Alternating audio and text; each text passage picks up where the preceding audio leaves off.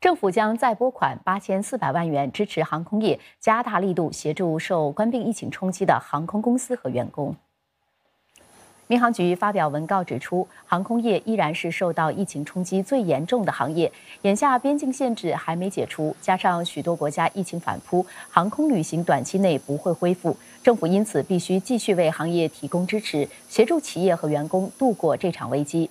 政府将提供资助，支持企业实施以及采用创新科技及防范措施，包括飞机和行李消毒设备，保障机场员工和机组人员的安全。两千万元将用在帮助员工接受再培训，保持与时并进。为了鼓励企业继续推动创新和提高生产力，民航局将为航空业发展基金再注入两千五百万元。交通部长王以康在社交媒体 Facebook 上载的视频指出，确保航空旅行安全恢复是一大重要任务。除了逐步开放边境，我国也将为疫苗运输做好准备。